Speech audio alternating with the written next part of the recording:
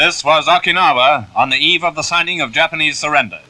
Hundreds of transport planes were ready to leave with airborne troops who were to begin the occupation by landing on Atsugi.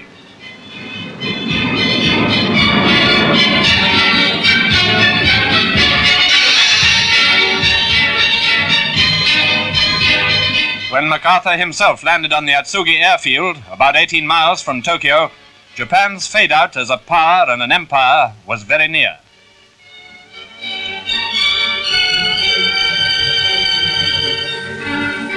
Yes, it was indeed a satisfactory moment for MacArthur and the men he led when Old Glory was hoisted here. As the American planes came roaring in, the Japanese went trudging out. For them, the bitterness of total defeat was only just beginning.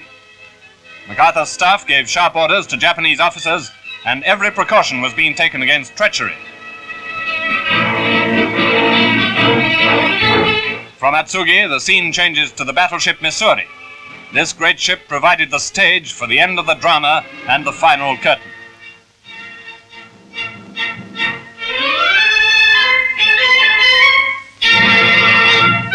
MacArthur, coming aboard, is greeted by Admiral Nimitz.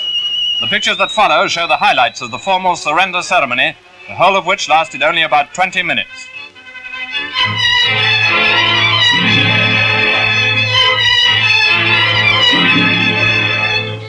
First, the arrival of the Japanese empowered to sign. The one-legged Shigemitsu, Japan's foreign minister, togged up as he thought appropriately for the occasion, hobbled to the table. General Umezu was to sign on behalf of the General Staff.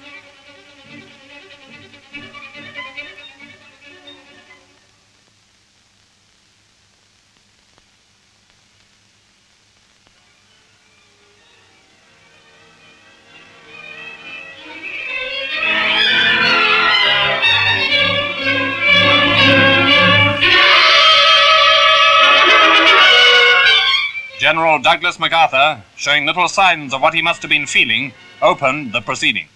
We are gathered here, representatives of the major warring powers, to conclude a solemn agreement whereby peace may be restored.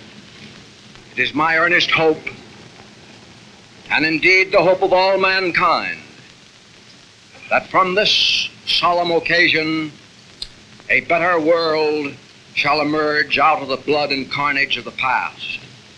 A world founded upon faith and understanding. A world dedicated to the dignity of man and the fulfillment of his most cherished wish for freedom, tolerance, and justice. I now invite the representatives of the Emperor of Japan and the Japanese government and the Japanese Imperial General Headquarters to sign the instrument of surrender at the places indicated.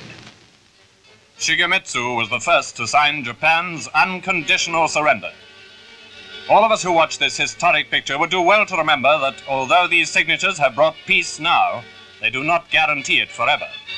The maintenance of peace will demand our utmost vigilance for long years to come.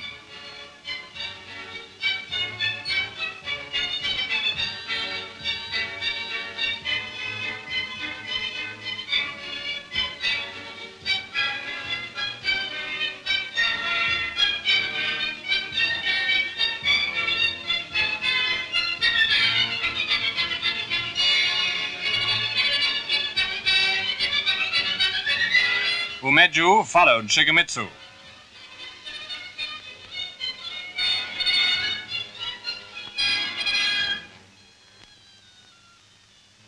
Will General Wainwright and General Percival step forward and accompany me while I sign?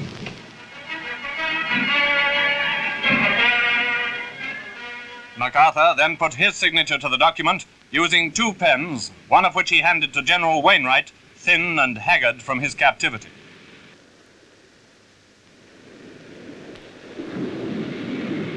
The other he presented to General Percival, a prisoner since Singapore.